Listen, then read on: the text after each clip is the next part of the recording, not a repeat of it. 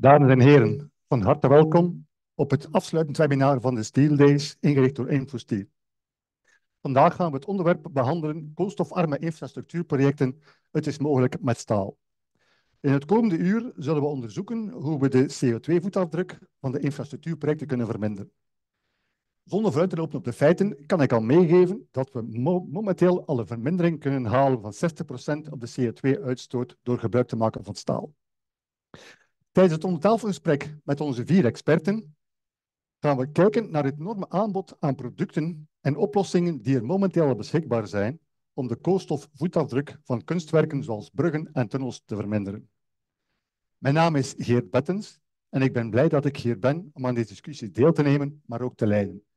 Voor hen die Philippe van Nabé hadden verwacht als moderator, hij heeft meer de voorkeur voor de uh, webinars in het Frans te leiden, heb ik begrepen. Het is mij genoegen om ook de drie andere leden van onze ronde tafel voor te stellen. Zij zullen hun meningen en ervaringen met ons delen over staal, de duurzame ontwikkelingen en het verminderen van de CO2-uitstoot. Ik zou willen starten met Denis Parrain.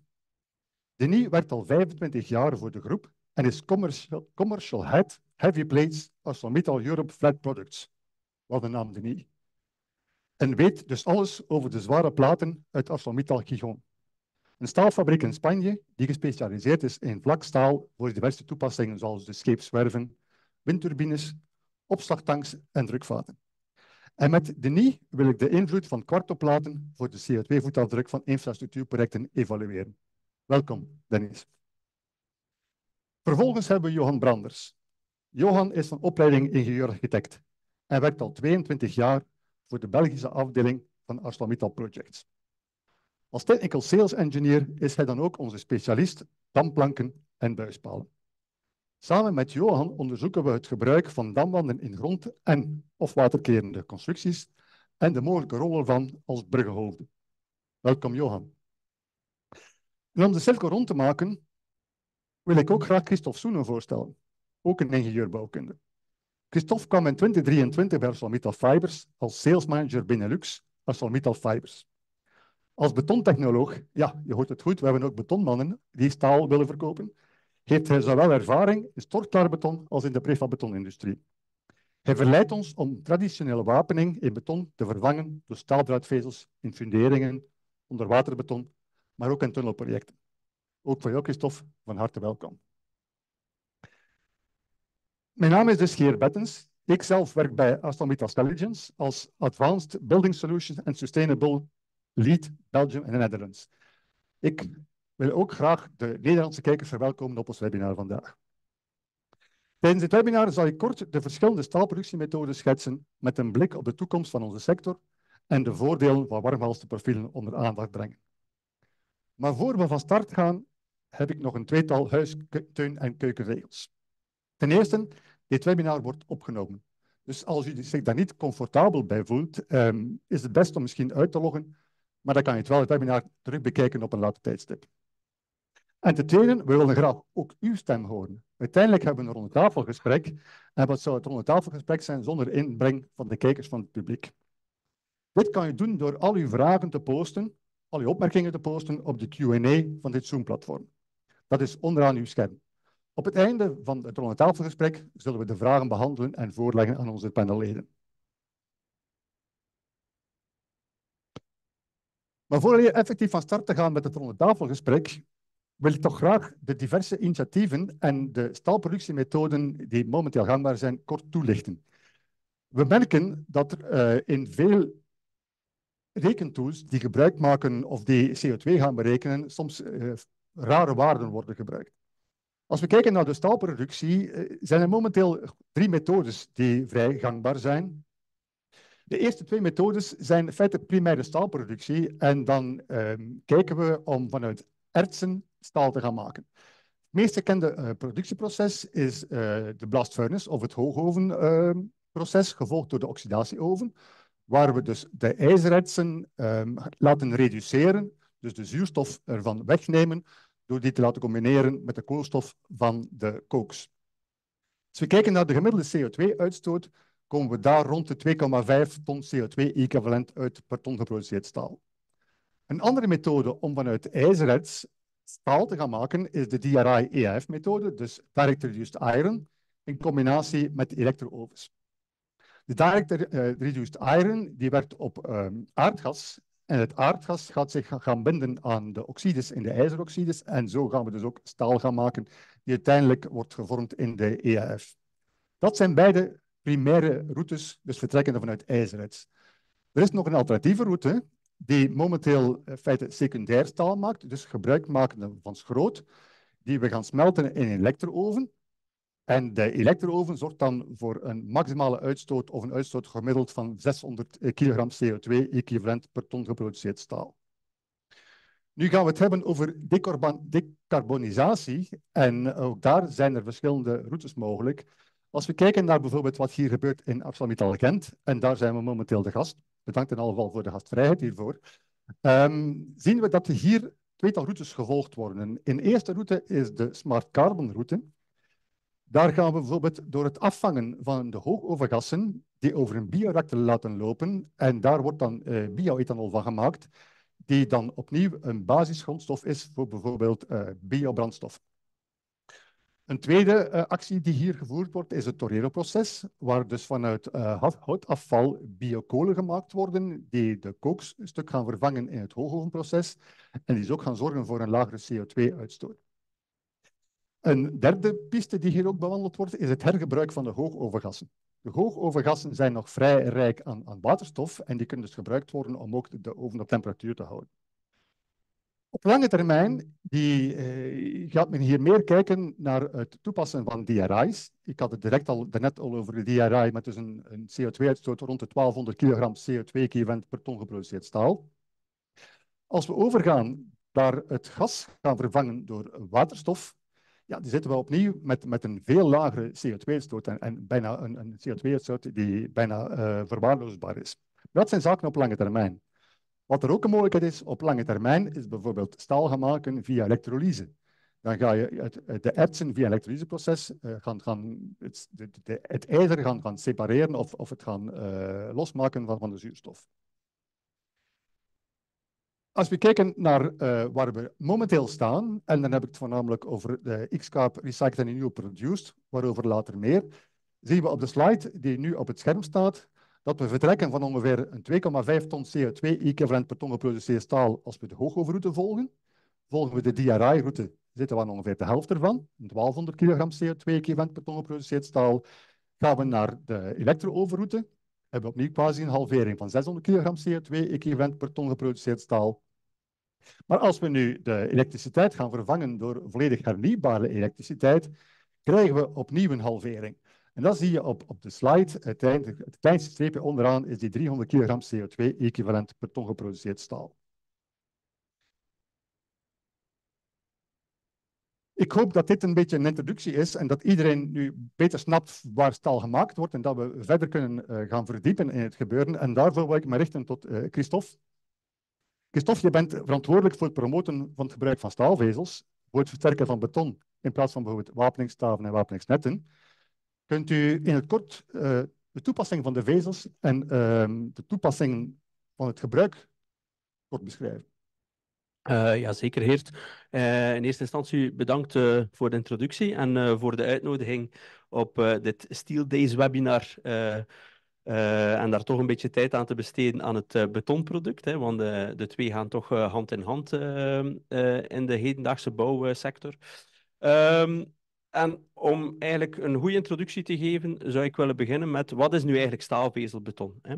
Uh, als we kijken naar uh, traditioneel gewapende constructies, uh, dan hebben we daar ook uh, het staal en het beton die daar samenwerken als een hybride product. In de zin van dat voor de drukzones gerekend wordt met beton en voor de trekzones gerekend wordt met traditionele traditioneel wapeningstaal.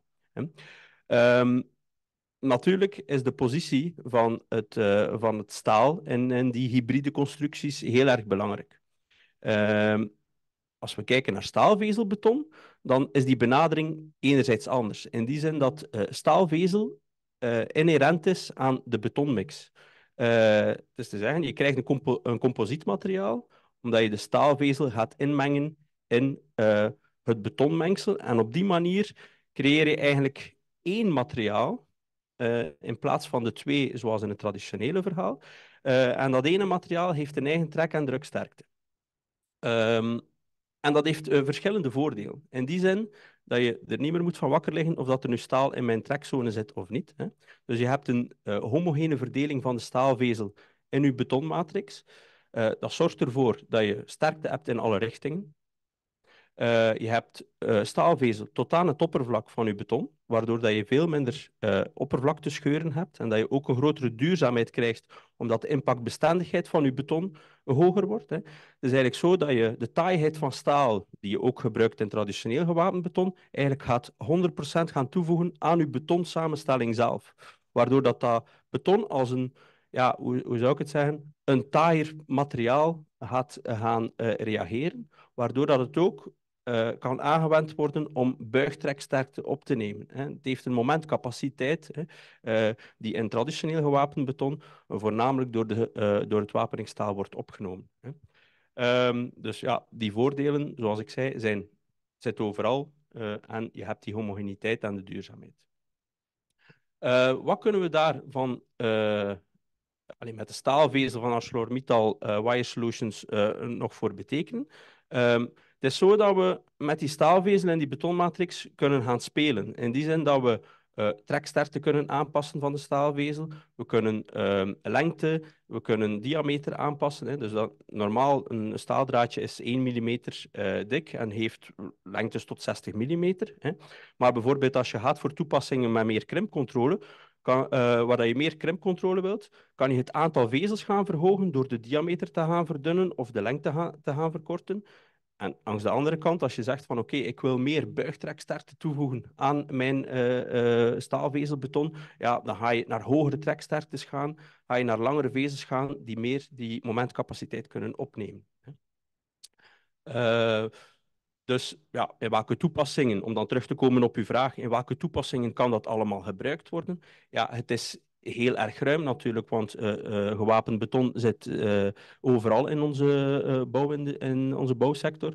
Dus het is het meest gekend van de staalvezelbeton die we kennen van in industrievloeren en funderingsplaten.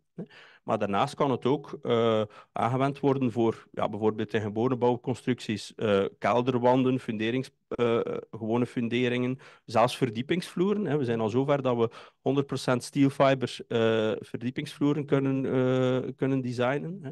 Als we dan kijken naar infrastructuur, ja, dan heeft het een hele grote toepassing in tunnelprojecten, waar het zowel als in prefab kan aangewend worden, dus in prefab segmenten van tunnels, als ook in spuitbeton voor de versteviging van tunnelwanden. Uh, het heeft ook een heel ruim, uh, ruime toepassing in uh, alles wat dat met uh, prefab te maken heeft. En dan denk ik vooral aan ja, dunwandige prefab, waar betondekking soms een probleem is. Dan kijken we naar betonbuizen en dergelijke, maar ook elektriciteitscabines. bijvoorbeeld de vangrails langs de autosnelweg kunnen daar ook mee uh, kunnen daar ook voor aangewend worden, omdat die impactbestendigheid daar een heel grote invloed op heeft. En als je dan kijkt naar ja, uh, infrastructuur specifiek, ja, dan kan het in wegenis aangewend worden om grote wapenings, hoge wapeningsratio's naar beneden te halen. Hè. Het kan ook, en daar heeft het wel een hele interessante toepassing, in onderwaterbeton gebruikt worden. Uh, want ja, als je onderwater staal gaat moeten gaan uh, installeren, is dat niet zo evident. Maar als je het staal kunt toevoegen aan je betonsamenstelling onmiddellijk um, onder water, dan, dan heeft dat enorm veel voordelen. Dankjewel, Christophe. Direct al to the point. Ik begrijp nu het gebruik van staal heel veel beter en staalvezel van beton. Maar Johan, vertel mij eens, um, hoe kunnen damwanden worden gebruikt in infrastructuurprojecten? En wat zijn de specifieke toepassingsgebieden ervan? Wel, voor stalen damplanken zijn er ongeveer een viertal grote toepassingsgebieden. Het eerste is de wegenbouw, waar damplanken worden gebruikt als beschoeiing. Dat kan tijdelijke beschoeiing zijn, maar ook definitieve. Ze worden ook gebruikt in tunnels en kunnen ook gebruikt worden als bruggenhoofd, omdat damplanken ook verticale krachten kunnen opnemen. In de foto links ziet u uh, de tunnel van uh, Lokeren. Dat is een, een, tunnel onder een spoorweg, waarbij de tunnelingangen uh, zichtbare damplanken hebben, maar onder het tunnelplafond zitten ook damplanken. Daar is beton voor gestort, dus je ziet ze niet meer. Maar die damplanken kunnen dus die verticale krachten opnemen. Uh, een groot project dat momenteel loopt is bijvoorbeeld het Oosterwereldproject in, in Antwerpen, waarbij tienduizenden tonnen uh, stalen damplanken worden gebruikt. Dan hebben we de waterbouw, waar damplanken worden gebruikt als uh, kademuren of als beschoeiing van kanalen en rivieren. Dat is de, het grootste toepassingsgebied voor ons.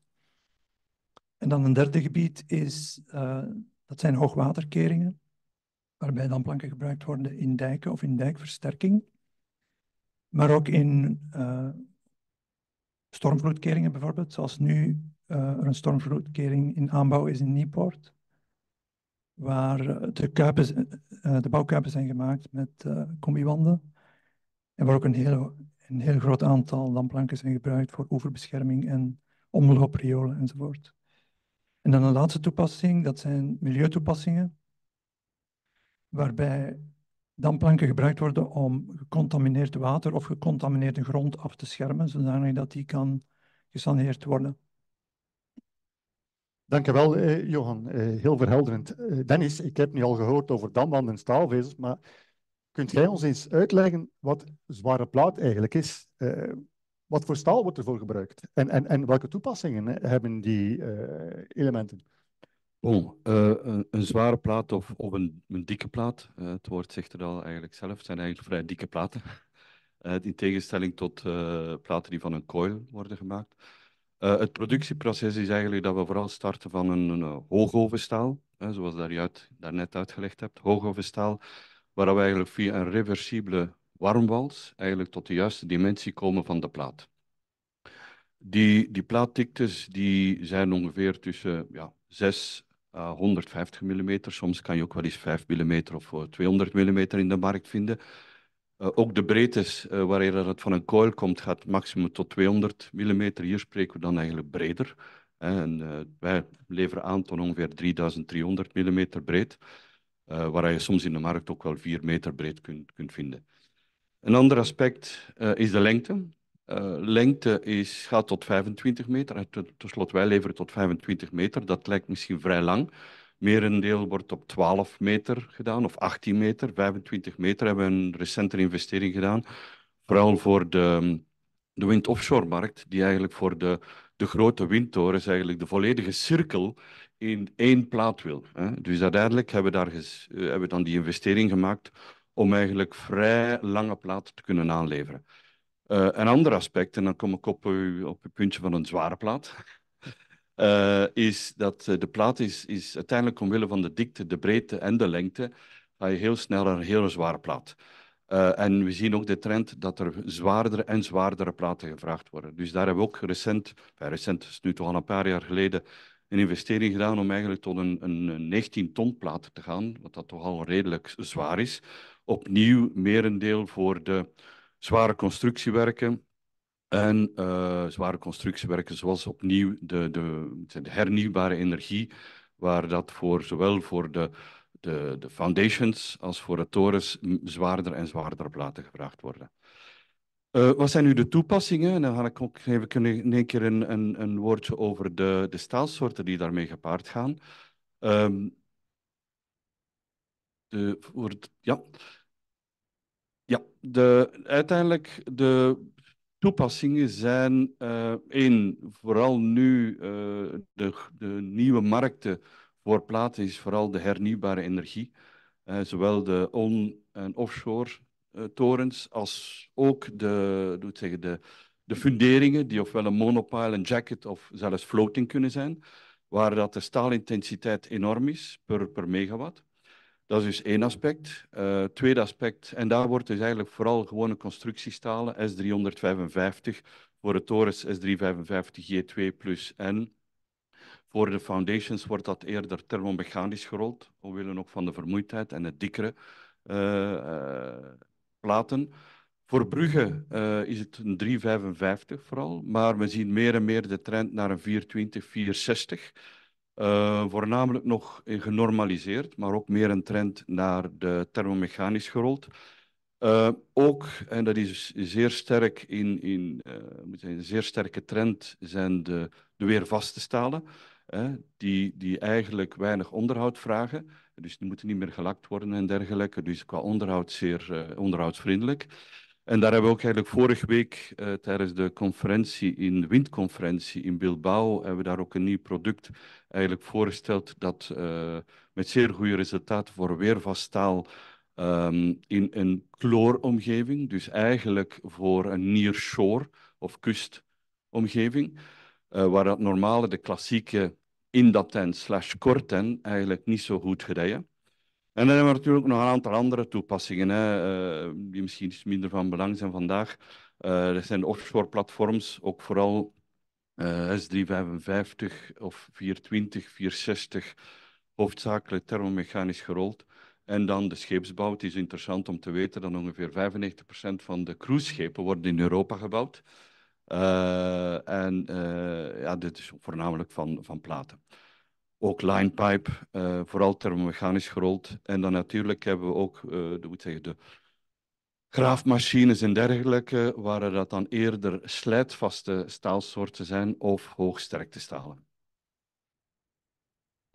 Ik heb begrepen dat dus uh, platen ook veel gebruikt worden voor bruggenbouw. En mijn Stelligens collega's van het bruggenteam zouden het niet eens zijn indien ik ook niet hun producten aanhaal uh, die gebruikt worden in bruggenbouw. Je ziet er bijvoorbeeld hier een aantal van op het scherm verschijnen. Als we vertrekken linksboven, hebben we het voornamelijk over de kokerliggenbruggen, die in feite uh, ontstaan zijn of voor het eerst gebruikt zijn in het begin van de 20e eeuw in origine uh, voor spoorwegovergangen of spoorwegbruggen uiteindelijk en nu meer en meer ook in wegenbouw worden toegepast. Die gaan tot een overspanning van ongeveer een 35 meter. Daarnaast is die uh, de staalbeton composietbruggen, uh, die ook meer en meer worden toegepast. En links onderaan um, is een voorbeeld van een precobeambrug of een precobeamligger. het specifieke daaraan is dat er gebruik gemaakt wordt van een stalen profiel die in twee gesneden wordt, waar dus de, de, de middenflens wordt, wordt of het ziel van het profiel wordt doorgesneden. En die wordt doorgesneden met bovenaan een vorm van haken of, of ogen op, die dan kunnen volledig ingepitaneerd worden en direct al een meewerkende functie gaan hebben in combinatie met beton. Waar onze collega's ook vrij hard op werken, zijn op het gebruik van boogbruggen of, of het uitrekenen van boogbruggen. En dan gaan we makkelijk tot overspanningen van 100, 120 meter.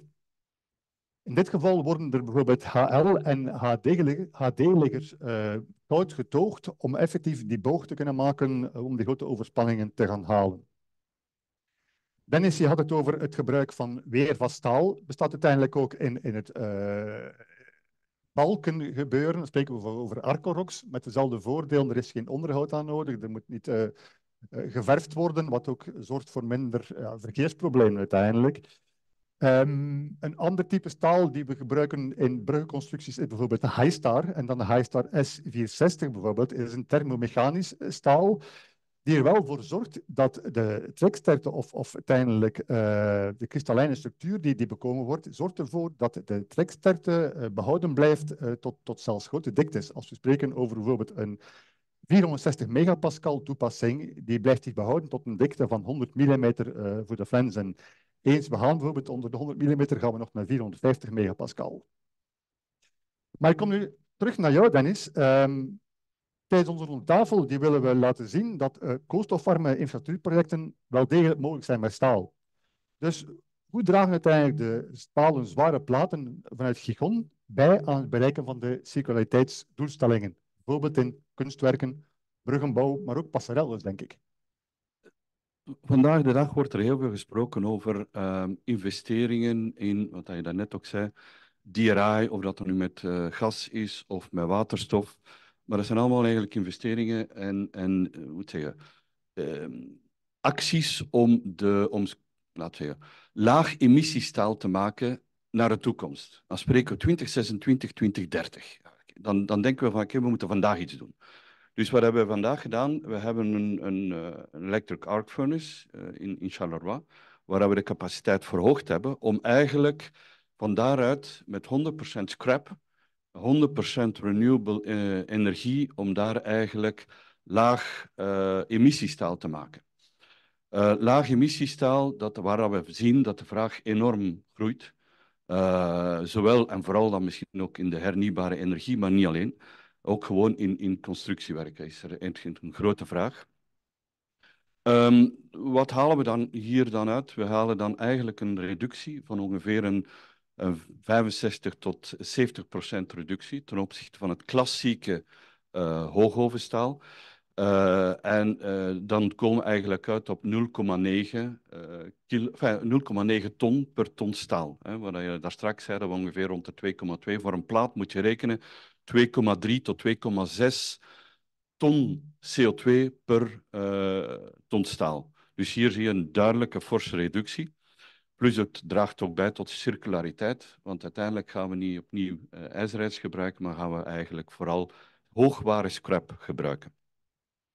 Wat ook belangrijk is, is dat doen we ook met een IPD. Uh, eh, vandaag de dag wordt er heel veel met uh, CO2-voetafdrukken, uh, cijfers in de lucht geslingerd. Uh, en uiteindelijk um, zijn dat gewoon maar cijfers, ofwel is dat de, scope 1 en 2. Maar hier hebben we duidelijk gekozen voor een, een, een EPD, dus waar het een, een, derde partij is die het alles verifieert en dus eigenlijk de volledige footprint ook uh, in rekening neemt. Wat zijn dan de toepassingen vandaag? Is uh, één, sowieso gebruiken we dat, walk the talk. Wij gebruiken het in ons eigen gebouw uh, in ons nieuw eigenlijk hoofdkwartier in, in Luxemburg, hè, waar er ongeveer een 2000 ton X-Carp uh, staalplaat in gaat. Maar dan niet alleen. Uh, we hebben ook een, een, zeer mooi project van ongeveer een 10.000 ton X-Carp recycled en renewed staal. Dus en dit voor een, een offshore windtorens die gebouwd worden voor de kust van, van Polen, Baltic Power, en dat in samenwerking met, met Vestas. Um, maar niet alleen, dan ga ik ook even verder op uh, dat constructiewerken. Het is ook grappig. Vorige week hebben we net een, nieuwe brug geboekt voor uh, een voetgangersbrug in Zwitserland.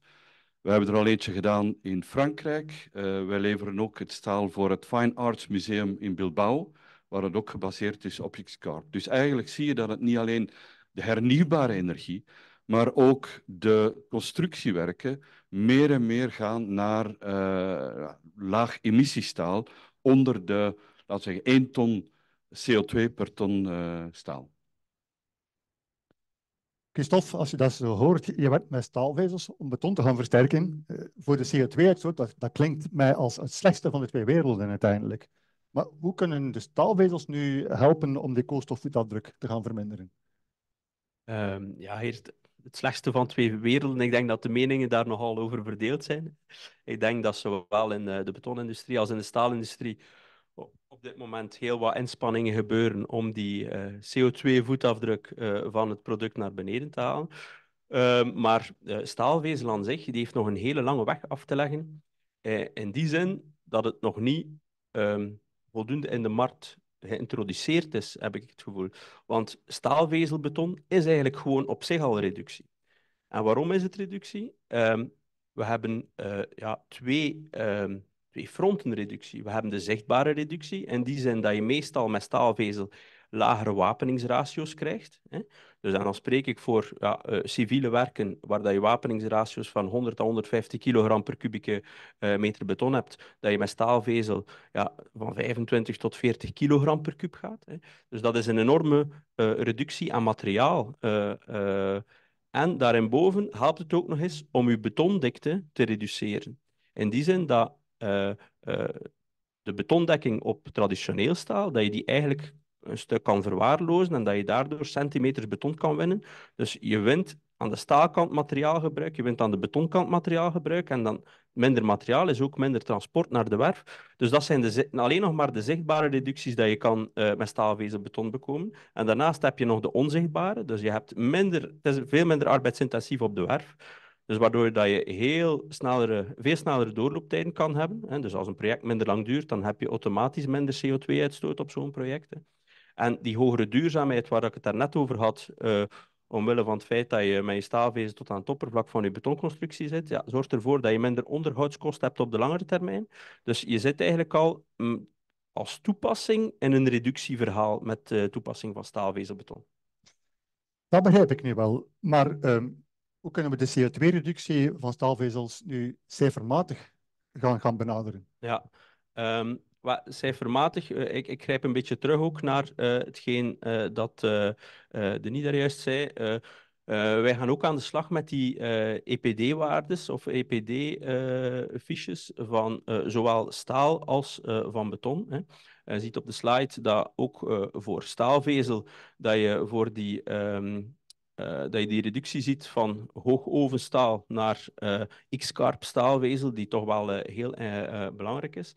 En als we dat dan gaan omzetten in een vergelijkingstabel waar dat we 1 kubieke meter gewapend beton met zo'n wapeningsratio van 120 kilo, waar ik het net over had, als we dat gaan vergelijken met een toepassing van staalvezelbeton, ja, dan zie je onmiddellijk al een reductie van 25% alleen al omdat je minder materiaal gaat gebruiken, ondanks het feit dat uh, uh, wapeningstaal, uh, DPD-waarde daar net iets onder de DPD-waarde van staalvezel ligt, zie je de reductie in het materiaalgebruik onmiddellijk terug in,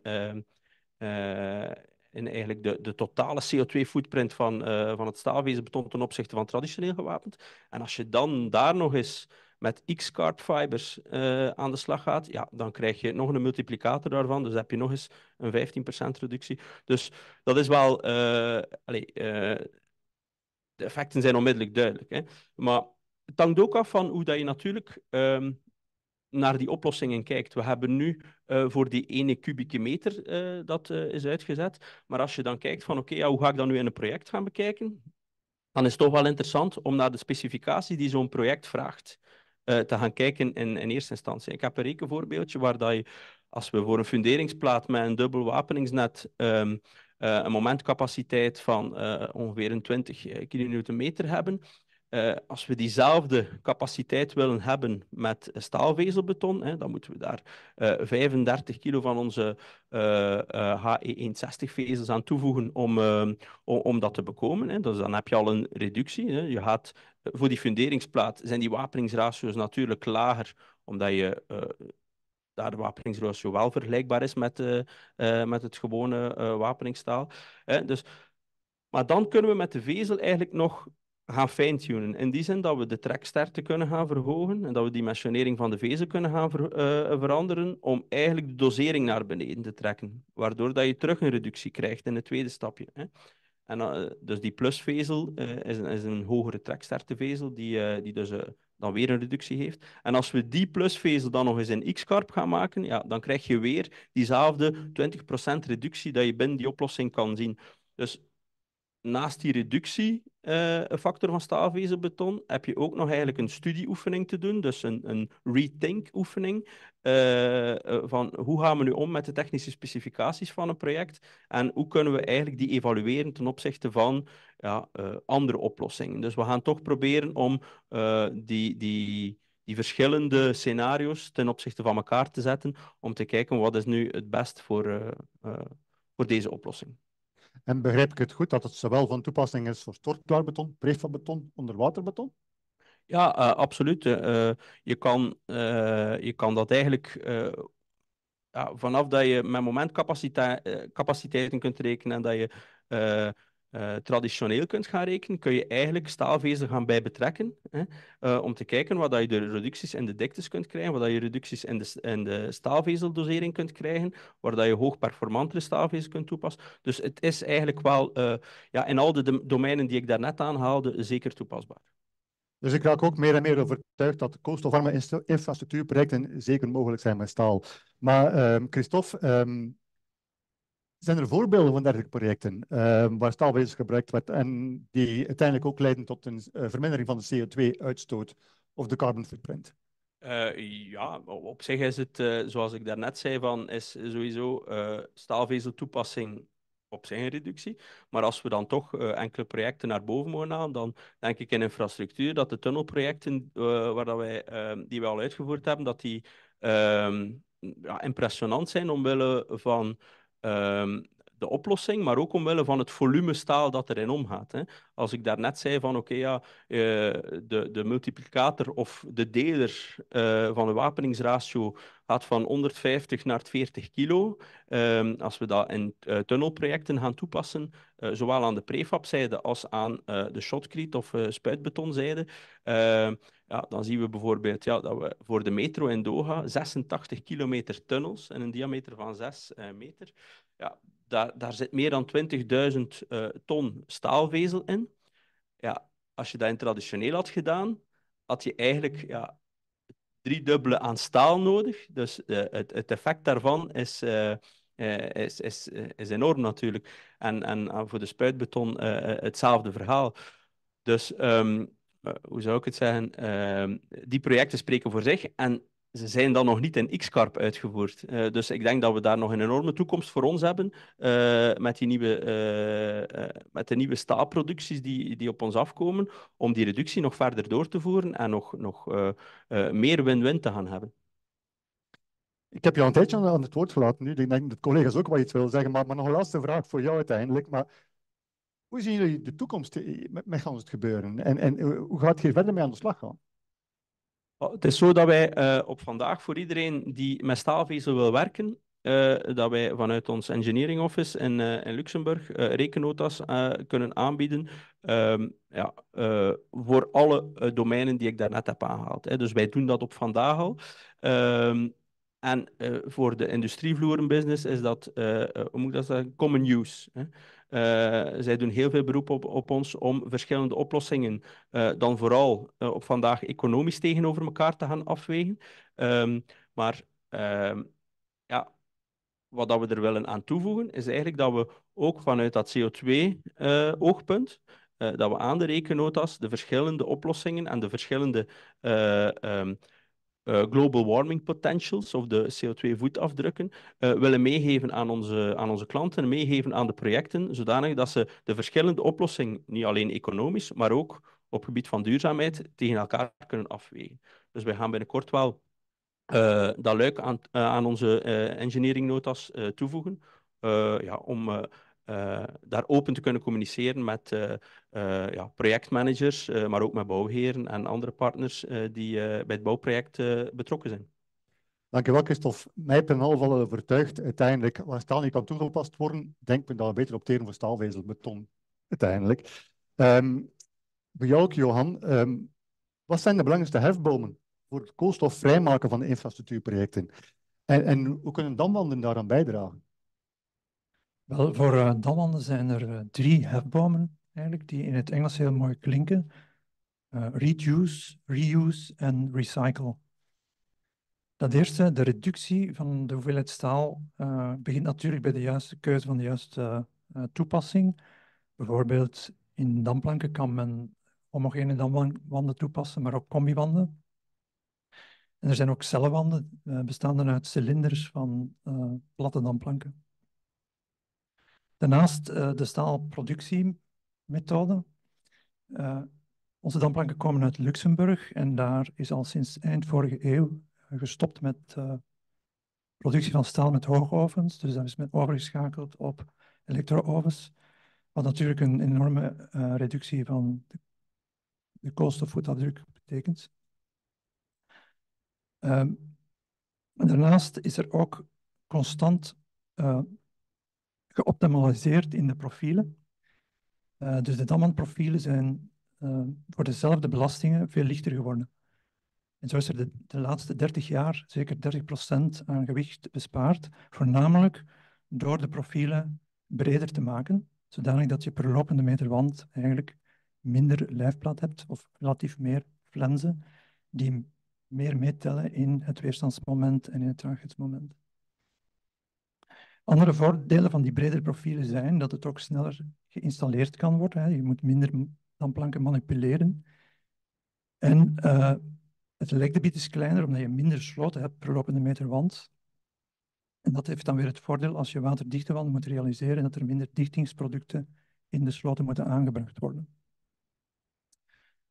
Verder uh, kunnen wij ook hogere staalkwaliteiten leveren, waar je dus ook uh, staal mee kunt besparen. Wij leveren damplanken met staalkwaliteiten tot 460 en binnenkort misschien ook tot S500.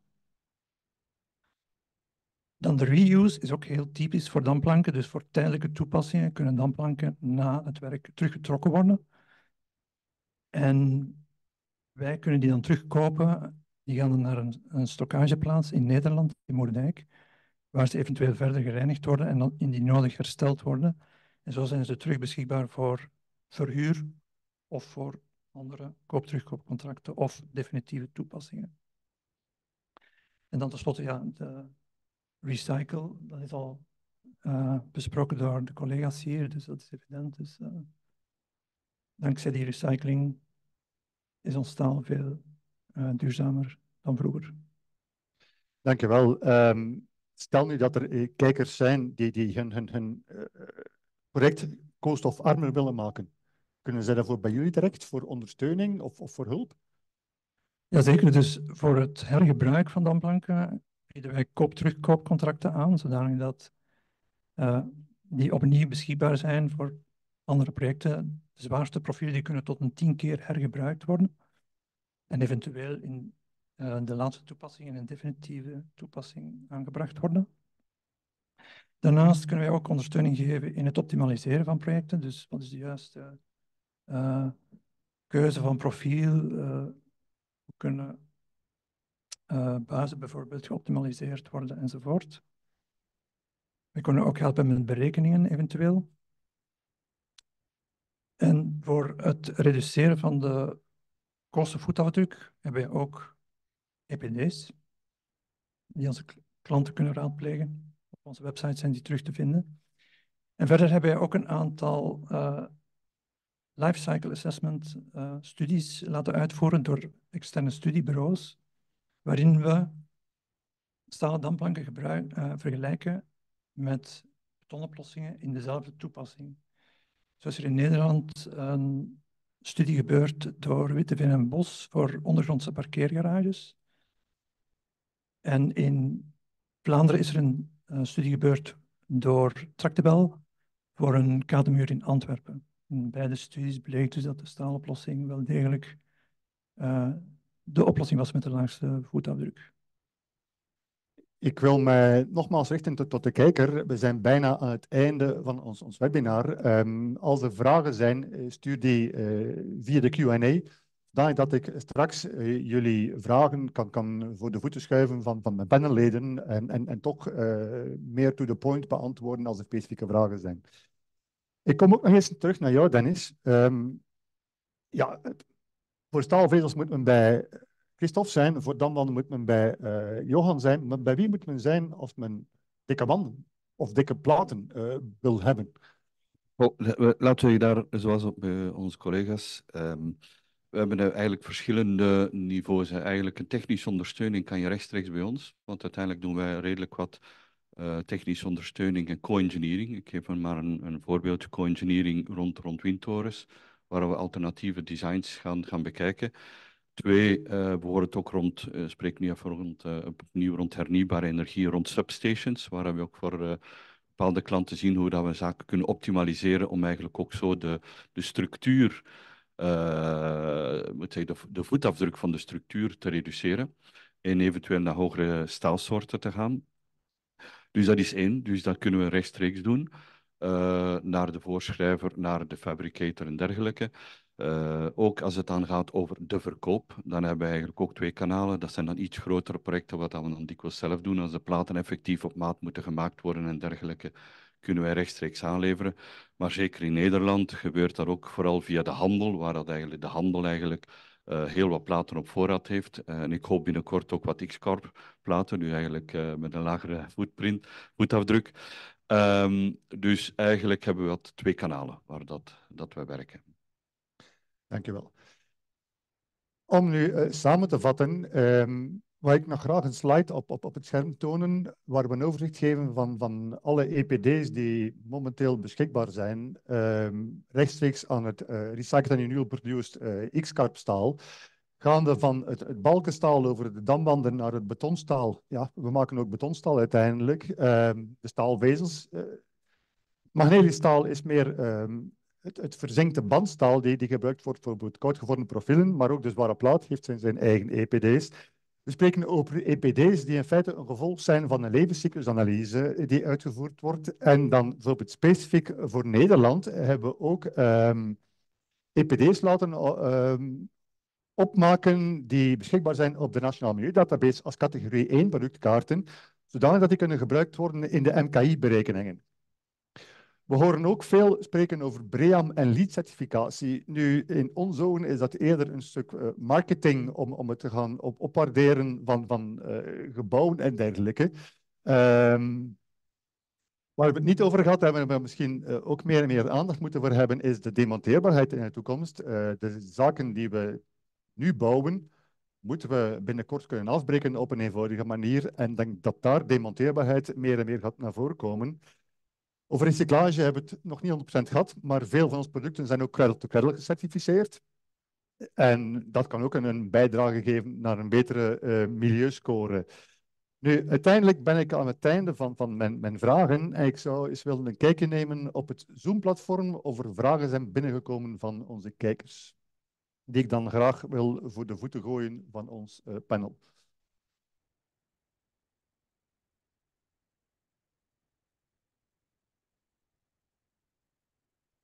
Ik zie geen vragen verschijnen.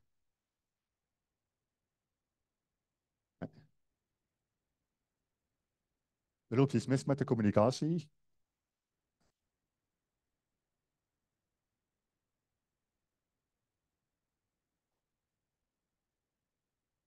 Dat is een vraag voor jou, uh, Dennis. Een eerste vraag. Uh, wat zijn de hangbare handelsmaten in staalplaten uh, die met X-Carp geleverd kunnen worden?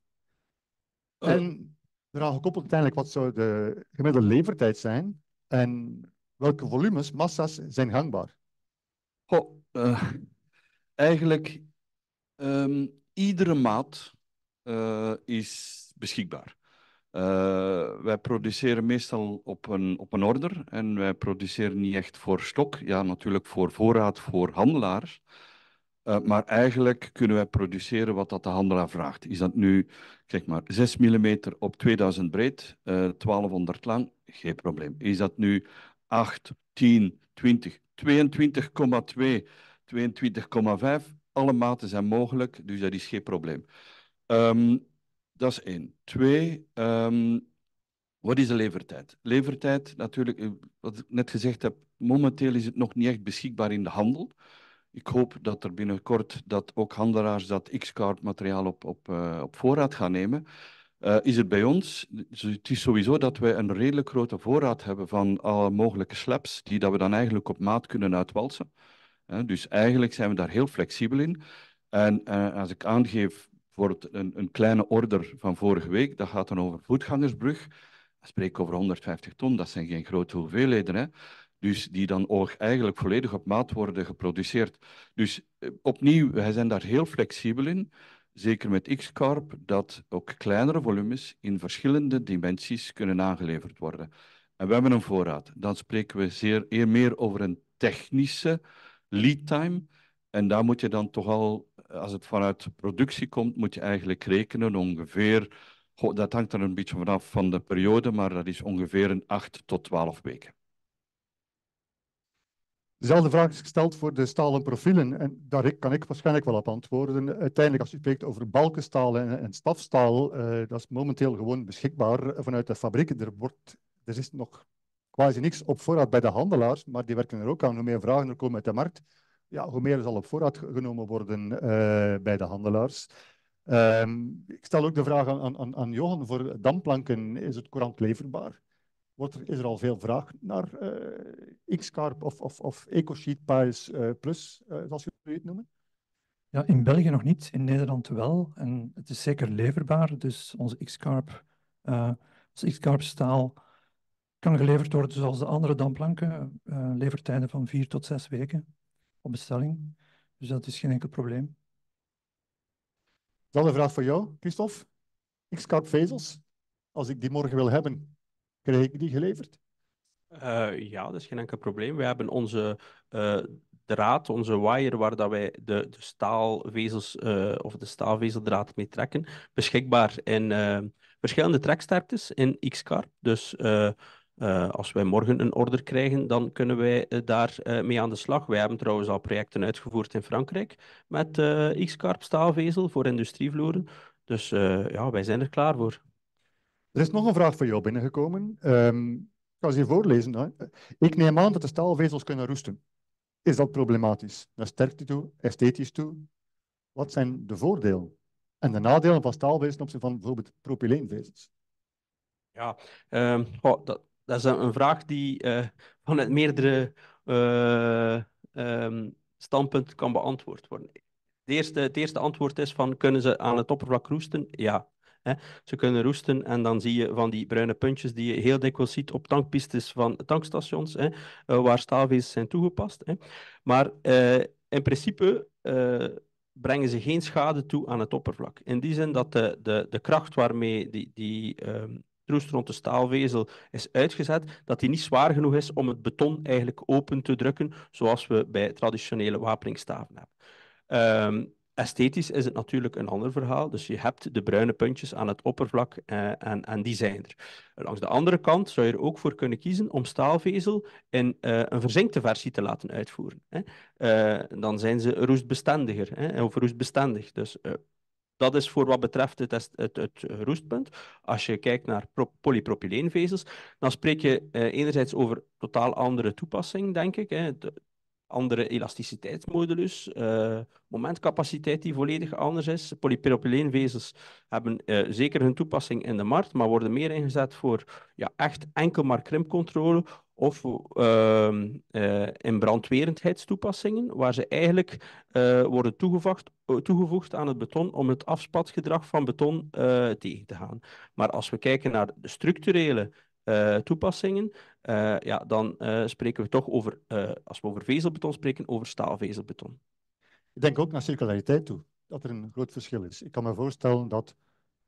Ja, wat dat je hebt als je staalvezelbeton gaat gaan breken end of, allez, bij end of life, dan heb je natuurlijk... Ehm, het, het, staaldraadje die je er magnetisch kunt uithalen bij het breekproces. Ja, bij polypropyleenvezels is dat natuurlijk een ander verhaal. Uh, die plastic zitten dan eigenlijk in uw beton en in uw uh, gerecycleerd materiaal. Een andere vraag die we kregen over het X-Carp, en ik ga die uh, door jou beantwoorden, Dennis, is X-Carp echt anders gemaakt? En, en is het een hangbaar proces, maar dan bijvoorbeeld met geregistreerde of gecertificeerde grondstof? Laten we zeggen, voor platen, wel degelijk voor platen, is het voor ons een, een ander productieproces. Ik, bedoel, ik heb gezegd, we beginnen normaal gezien beginnen wij van hoogovenstaal. Uh, in dit geval, voor X-Carb, gebruiken wij schroot. 100% hoogwaardig schroot. Dus er is toch een iets anders productieproces. Het is wel van een bestaande moet zeggen, electric arc furnace, die kent het publiek misschien wel, in Charleroi Industrial, maar die maken eigenlijk ook platen, maar een ander type platen, hoogwaardige platen, zwaar moet zeggen, gelegeerd. Um, waar we nu die, hoog, die, die, sorry, die electric arc furnace gaan gebruiken om eigenlijk gewoon koolstofstaal te gaan maken.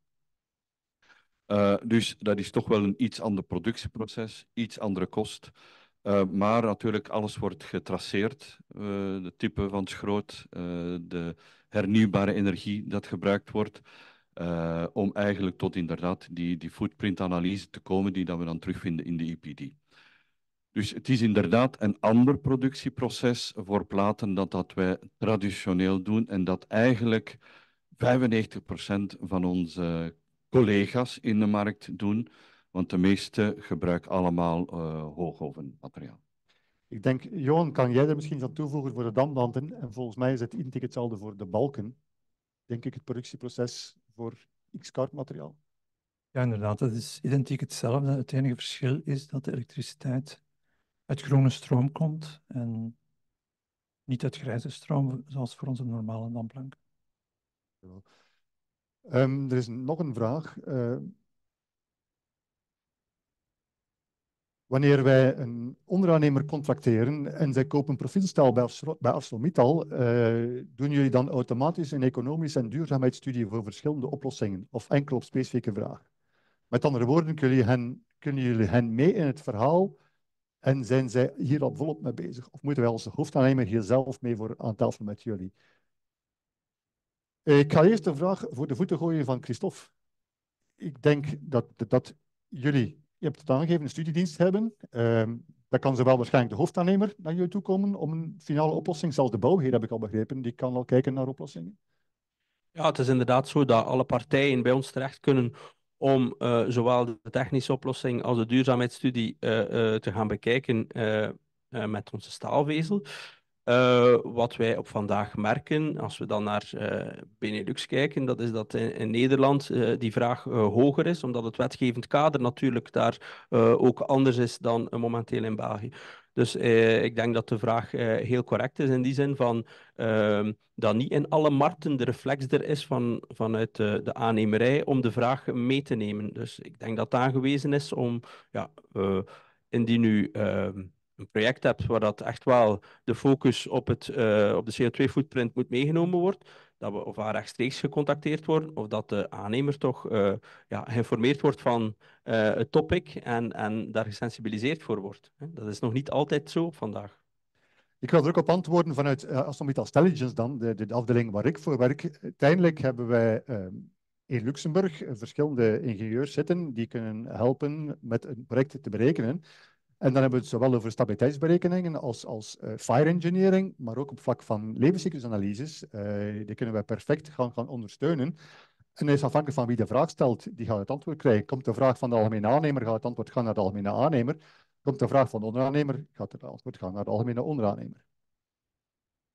Ik denk dat Johan die vraag ook al geantwoord heeft, dat uiteindelijk ook van hun dienst uit ondersteuning gegeven wordt naar wie het vraagt. Inderdaad, ja. wij hebben een studiedienst in Luxemburg en we kunnen ook berekening maken in onze Nederlandse afdeling. Dus uh, op vraag van de klant kunnen wij daarin advies verlenen. Dan krijgen we een vraag over staalvezelbeton. Ik denk dat de eerste vraag al beantwoord is. Uh, de tweede vraag. Uh,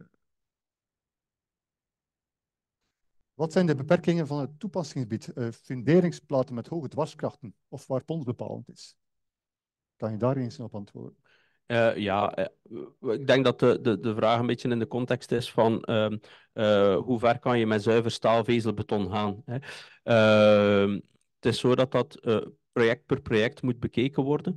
En toen ik daarnet een lans brak natuurlijk voor 100% staalvezelbeton, moet ik daar misschien nu wel aan toevoegen dat wij heel dikwijls ook naar hybride oplossingen kijken. Hè.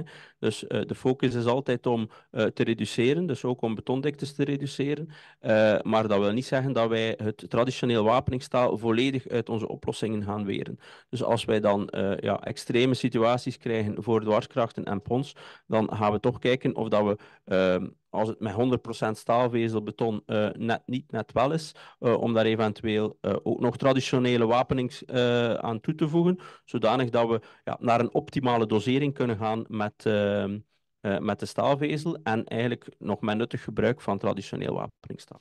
En aansluitend op, op een van de opmerkingen die je gemaakt hebt, is er een vraag gekomen naar thermisch verzinken van vezels. Heeft het een impact op de hechting, betonvezel? Ja, het is zo dat je uh, een reactie krijgt bij, uh, tussen de, de galvanisatielaag en, en het beton.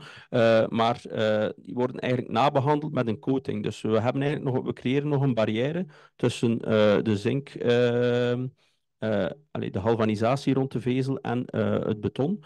Um, waardoor dat je eigenlijk de reactie beton met zink hè, en de, de, productie van uh, waterstofballetjes uh, gaat gaan elimineren. Dus die zijn wel behandeld met een extra laag. Dan um, misschien nog, nog een finale vraag. Hoe kan bij openbare aanbestedingen X-Carp staal naar voren komen? Wat is het prijsverschil met klassieke staalproductie? Ehm, Johan, misschien voor jou? Op vlak van damwanden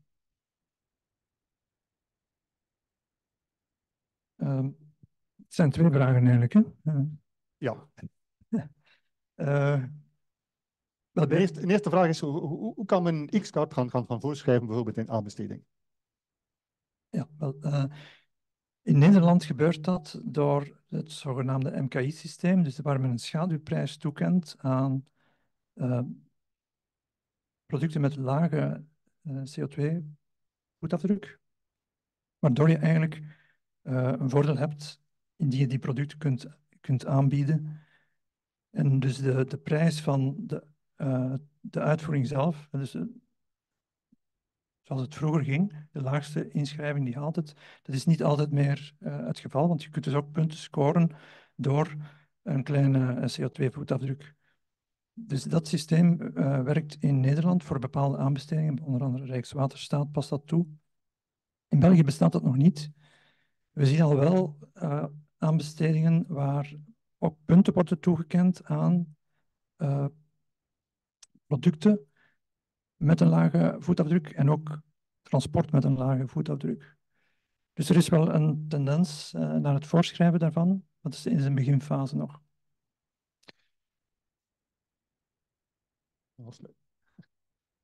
Misschien nog een, een antwoord op een, een vraag die uh, gesteld is. Wordt de opname achteraf nog gedeeld met de deelnemers? Inderdaad, de mensen die zich hadden ingeschreven voor het webinar zullen later nog een link krijgen waar ze de, de uitzendingen kunnen herbekijken. Ik moet uiteindelijk bekennen, ik ben aan het einde van mijn uh, koolstof Latijn, als ik het zo mag noemen. Dus ik wil de leden van onze tafel nogmaals bedanken. Christophe, Johan, uh, Dennis, allemaal bedankt uh, voor jullie kennis te delen met ons. Ook jullie kijkers en, en, en vragenstellers van harte bedankt om, om jullie online deelname van haar, uh, vandaag. houd zeker ons multimedia-kanaal in de gaten voor eventuele komende webinars. Ik wil ook ons multimedia-team bedanken voor de inspanningen om hier te zijn vandaag en om ons zo mooi uit te zenden. Voor iedereen nog een fijne dag en tot een volgende keer.